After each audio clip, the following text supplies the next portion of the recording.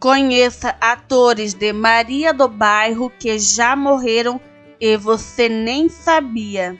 Uma das novelas mais queridas no Brasil é Maria do Bairro.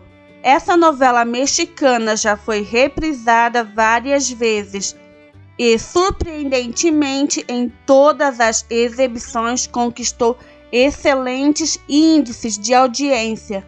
Contudo, após tantos anos, claro, algumas atrizes mudaram e outras, infelizmente, morreram.